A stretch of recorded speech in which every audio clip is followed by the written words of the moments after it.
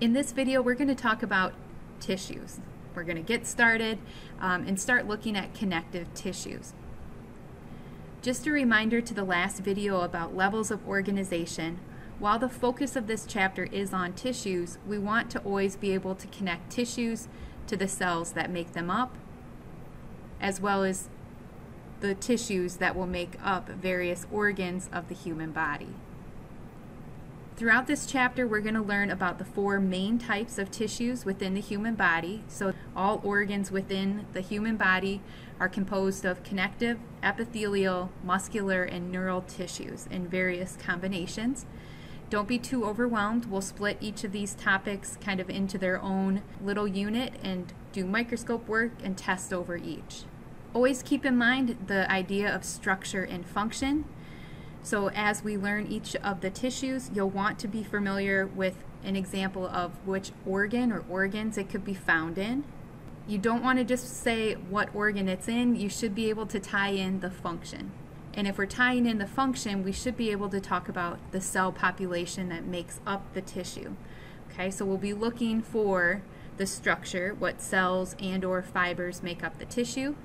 How does that link to a function of the tissue and how would that tissue's function help with the organ's function. All right, so moving into um, connective tissues. Connective tissues are the most diverse tissues within the human body. Um, there's lots of examples, but it's a good starting point because they are so diverse. So, in order to determine that it is a connective tissue and not epithelial, muscular, or neural tissue, we would look for three basic components. And those three basic components are specialized cells, fibers, and the presence of a ground substance. So a lot of stuff going on on this slide.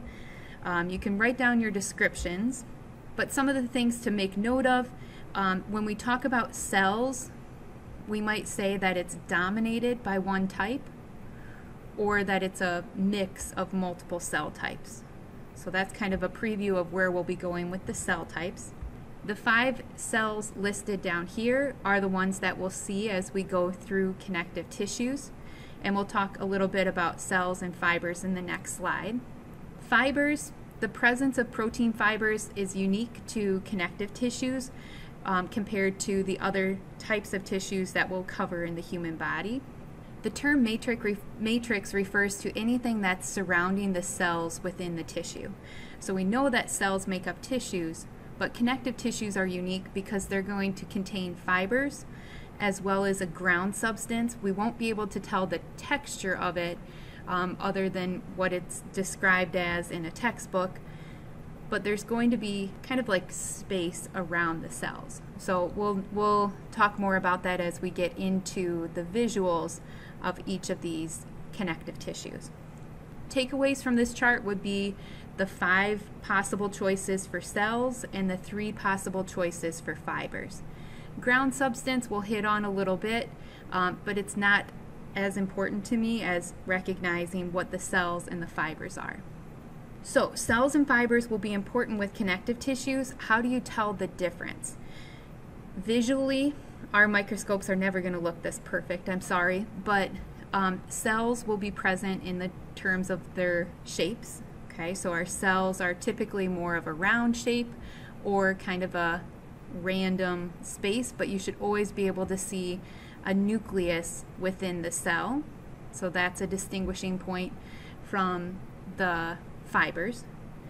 And fibers, the term tells you it's going to be something that's long and stringy. So you'll have collagen fibers that are going to be thick, elastic fibers that are going to be stringy, and reticular fibers that are going to be kind of web-like.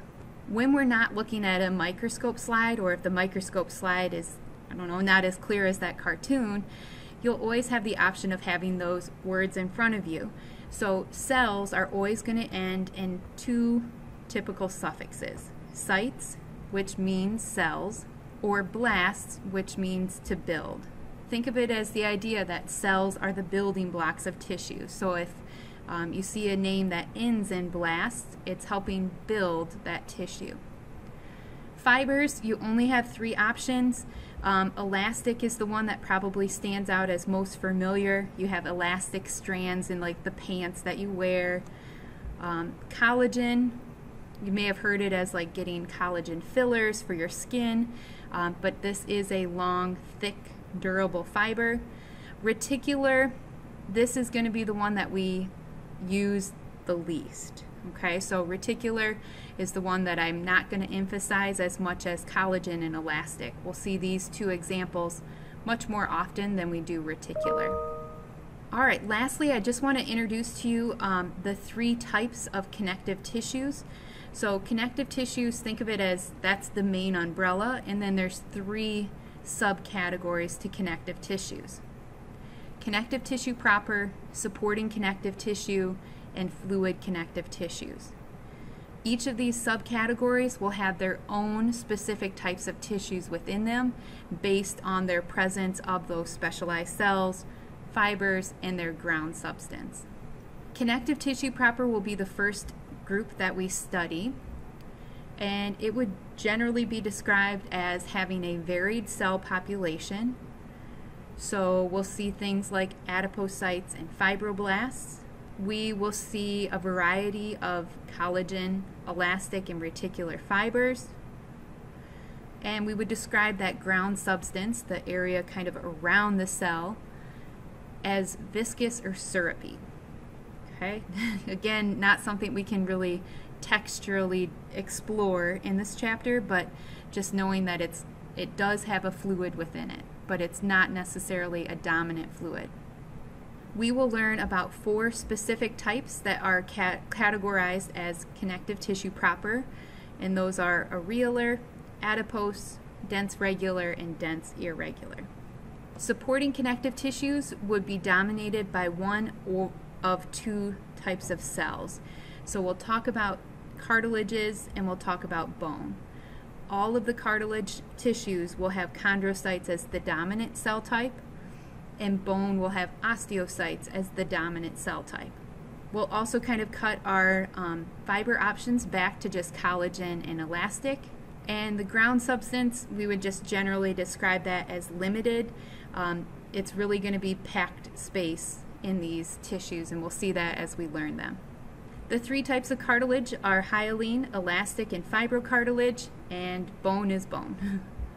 Lastly, fluid connective tissues, there's just two types here, blood and lymph. They will be dominated by their specific cell type, erythrocytes, which are more commonly called red blood cells in blood, and lymphocytes in lymph. When you think of your blood, you don't picture it as it being like stringy at all. So the fiber presence here is they're dissolved protein. So under most normal conditions, you don't have insoluble fibers or stringiness present in these fluids.